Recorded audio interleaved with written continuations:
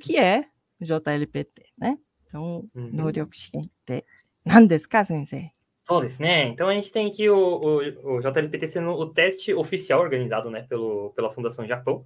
Uhum. E ele vai atestar o seu nível de japonês, né? Então ele é, é, é o que as, as empresas, as faculdades, tudo do Japão vai reconhecer como um comprovante que você sabe falar japonês. Né? Sim. Né? Ele é basicamente dividido em cinco níveis, não é mesmo? Sim.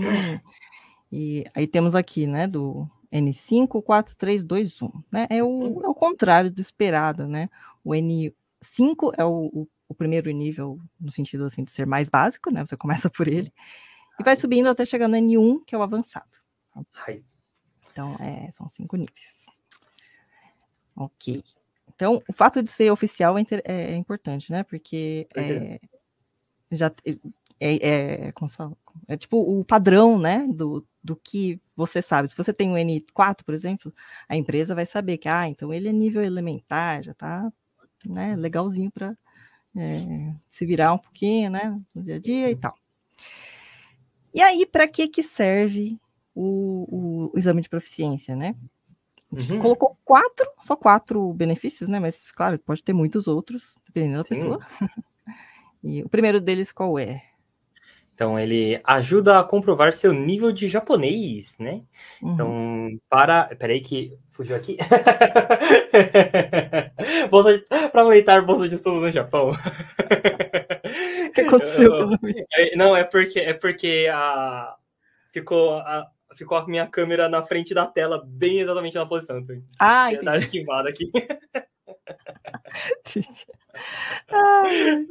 Bom, então primeiro deles é o teste ele ajuda a comprovar o seu nível, né, de japonês, claro, né, para tentar uma bolsa de estudo, né? Então, se você já tem um certo nível, já ajuda, né? Você pode passar na frente de outro candidato, né? Tem um benefíciozinho aí. E o outro, um vermelhinho aqui?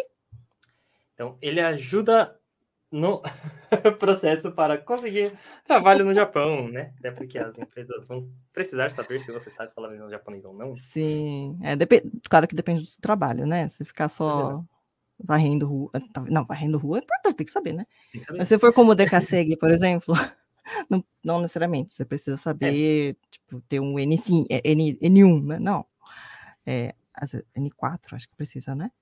É, depende, depende do, do. Se você for Sansei, né? Yonsei, hum, assim, se for hum, Yonsei, eles requisitam, mas a Sansei pra frente não. É, então, é bom você fazer, né? Principalmente se você, se você é Yonsei ou você quer ir para lá. Uhum. É, mas, em geral, empreiteira, assim, se você vai para o Japão com o objetivo de ser DKC, não vai fazer tanta diferença, porque, assim, a empreiteira vai meio que fazer tudo para você. Sim, sim. É. Mas é bom uhum. saber japonês, até porque se você quiser se desvincular, né? Porque a empresa come uma boa parte do seu salário. Hum. então, assim, é se quiser se desvincular da empreiteira. É, é uma boa, é uma né? boa. Você pode continuar trabalhando sendo contratado direto, né? Aí não Sim. tem a porcentagem que você é, é subtraído.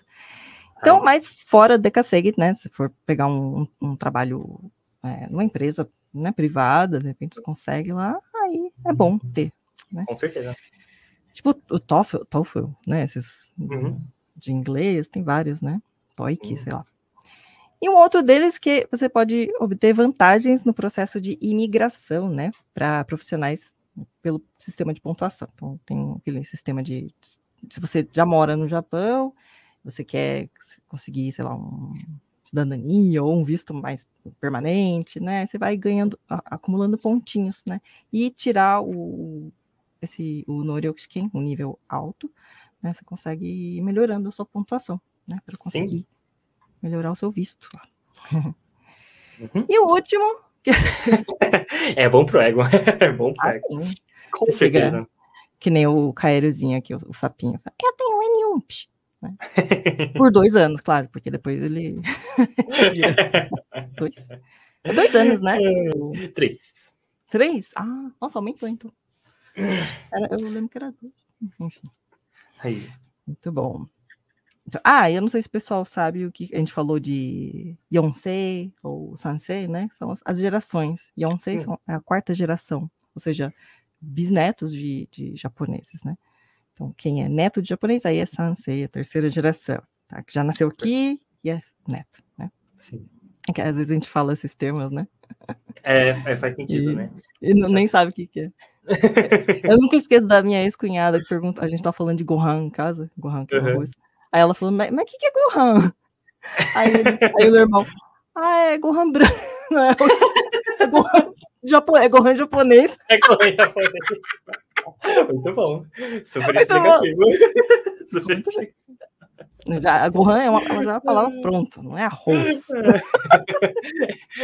É Gohan. É Gohan. Acho que a minha, irmã, a minha irmã também falava isso e eu, eu ficava meio, ué. É, né? Tem certas coisas que não tem tradução para português.